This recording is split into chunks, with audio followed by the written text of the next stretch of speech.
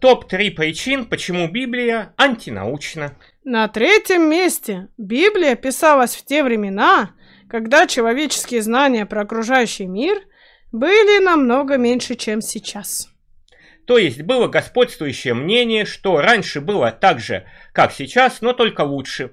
Люди и животные жили в раю, где никто никого не жрал, а все стали друг друга жрать, э, только потом, когда в мире вдруг что-то сломалось, ну а сломаться могло только по одной причине, потому что люди согрешили перед Богом, и Бог на них обиделся. О том, что окружающий мир формируется под действием эволюции и естественного отбора, никто даже не предполагал. А если и предполагал, то не мог этого доказать. На втором месте в библейские времена не было науки как таковой.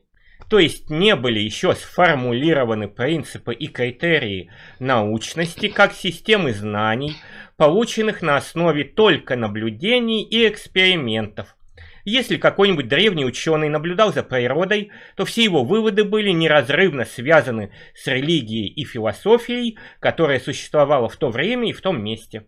Примерно в таком донаучном состоянии находятся современные креационисты и конспирологи.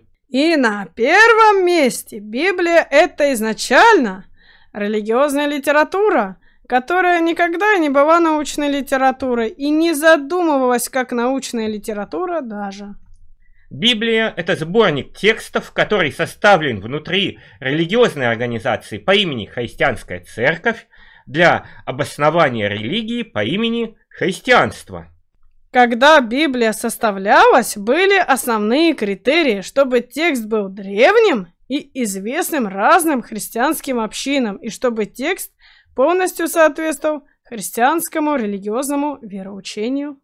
То есть, если бы на первом и втором Вселенских соборах, когда формировался канон книг Священного Писания по имени Библия, были бы работы Дарвина, Галилея и учебники для советской средней школы, то они бы не вошли в Библию, так как они не про христианское вероучение – а если бы какой-нибудь студент из Московской духовной семинарии изобрел бы машину времени и привез бы на поместный собор конспекты своих лекций по богословию, то они тоже не вошли бы в Библию, так как не были известны существующим в то время христианским общинам.